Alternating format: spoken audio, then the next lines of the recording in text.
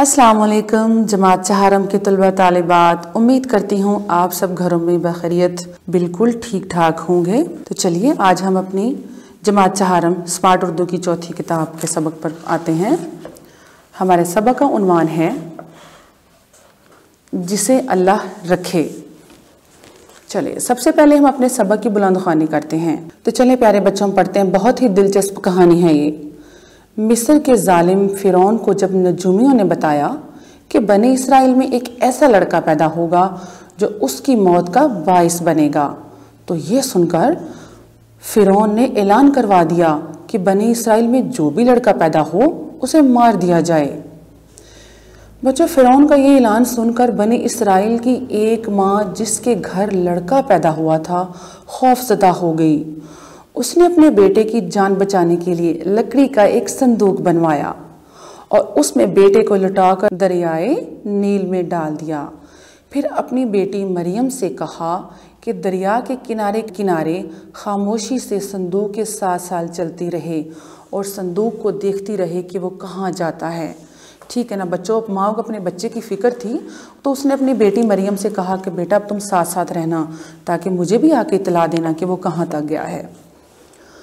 तो बच्चों, अल्लाह ताला का करना यह हुआ कि वो संदूक पानी में बहता हुआ दरियाए नील से उस नहर में चला गया, जो फ़िरौन के महल में जाती थी।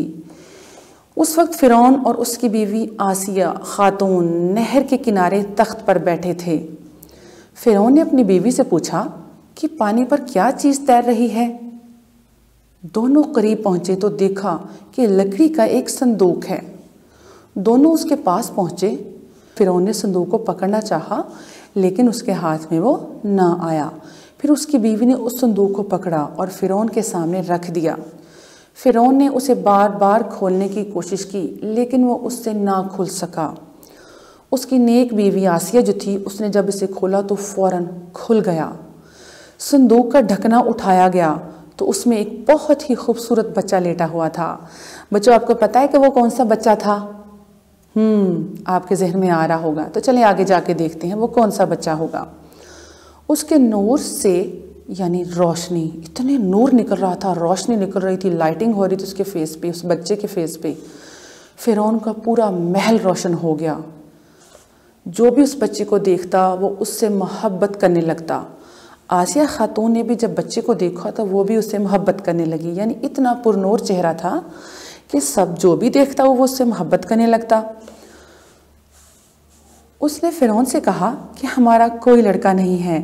हम इस लड़के को पाल लेते हैं। अल्लाह ताला के हुक्म से फ़िरौन के दिल में भी बच्चे की मोहब्बत पैदा हो गई। और उसने, हालाँकि वो एक ालिम बादशाह था ालिम था, लेकिन खुदा का हुक्म था तो वो पूरा होकर रहना था। और उसने अपनी बीवी को इसे पालने की इजाज़त भी दे दी, यानी अपने पास रखने की। हालाँकि वो तो जिस बच्चे को कहता पैदा हुआ है तो वो कहता था, उसको तो मार दो। लेकिन हुक्म खुदा देखिए ज़रा। और आसिया खातून ने उसे अपना बेटा बना लिया, यानी उस वक्त जो वो बच्चा था, वो किसका बेटा बना? फ़िरौन और आसिया का बेटा बन बन गया। उन्होंने अपने उसको बेटा बना लिया।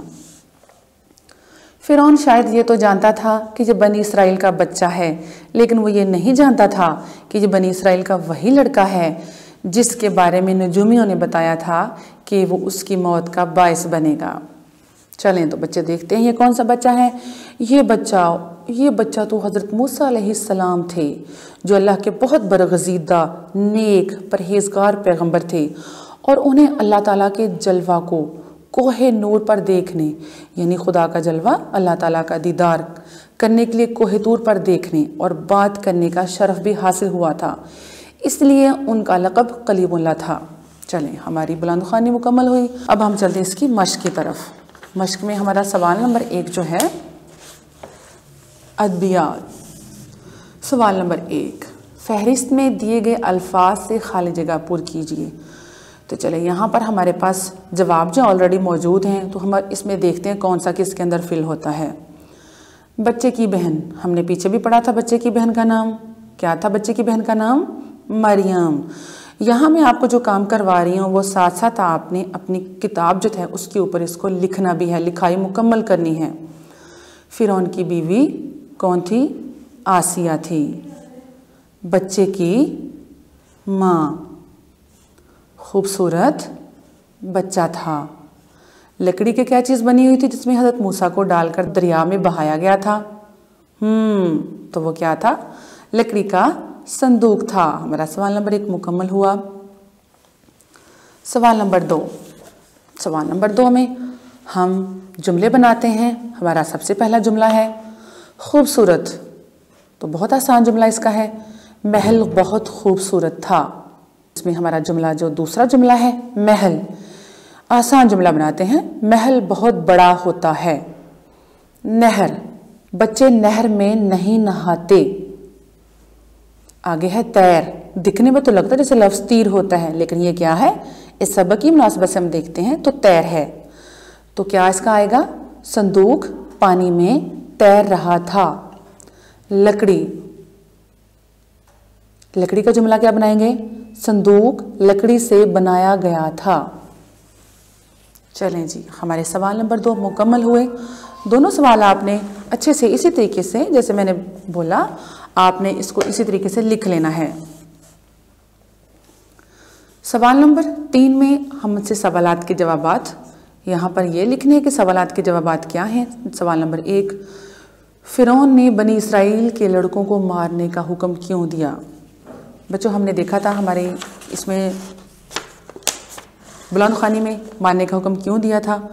क्योंकि वही लड़का जब बड़ा होगा तो वो फ़िरौन की मौत का बायस बनेगा। इसलिए उसने कहा था कि सब लड़कों को, जो भी लड़का पैदा होगा, उसको मार दिया जाए। सवाल नंबर दो, हज़रत मूसा अलैहिस्सलाम कौन थे और उनका लक़ब क्या था? हज़रत मूसा अलैहिस्सलाम अल्लाह ताला के बरगज़ीदा पैगंबर थे और उनका लक़ब कलीमुल्लाह था। सवाल नंबर तीन, जिसे अल्लाह रखे का क्या मतलब है? हमारे सबक का उनवान था। जिसे अल्लाह रखे। यानी खुदा जिसकी हिफाजत करना चाहे तो अल्लाह उसको रख लेता है, उसकी हिफाजत कर लेता है। जिस तरीके से हज़रत मूसा अलैहिस्सलाम जो थे, उनको अल्लाह ताला ने उनकी हिफाजत की थी। चलें जी, अब हम अपने सवाल नंबर चार पर आते हैं बच्चों। सवाल नंबर चार हमारा ग्रामर का सवाल है। इसमें नंबर एक है उसमें पूछा गया है कि फेल पर दायरा लगाएँ। अब जो इसमें हमारे पास फेल होगा, हमने उस पर दायरा लगाते जाना है। नंबर एक, अल्लाह ने पैगाम भेजा। भेजा फेल है, यानी जो काम किया गया होता है। नंबर दो, उमैर ने किताब पढ़ी। तो उमैर ने क्या पढ़ी थी? उमैर ने क्या किया था? किताब को पढ़ा था। नंबर तीन, शहद की मक्खी ने घर बनाया। शहद की मक्खी ने क्या बनाया? घर। तो बनाया इसमें उस फेल हो गया। नंबर चार, सना कपड़े धोती है। धोती इसमें फेल हो गया। नंबर पाँच, यूनिस लिखता है। गुड इसका क्या आएगा आंसर फेल इसका लिखता है। हमारा आखिरी इसमें जो पॉइंट है वो है, दादी अम्मा ने आमना को गुड़िया दी। तो इसमें हमारा फेल क्या हुआ? दी, देना। चलें जी। तो इसमें हमने अपने सबक की बुलंद खानी की और उसके साथ मश्क को देखा। ये तमाम सवाल के जवाब और जितनी भी मश्क है, और वो आपने अपनी किताब के ऊपर इसको लिख लेना है, इसको फिल कर लेना है। और नीट नोटबुक्स से उसके ऊपर इसकी मश्क करनी है। अपना बहुत ख्याल रखिएगा। अल्लाह हाफिज़।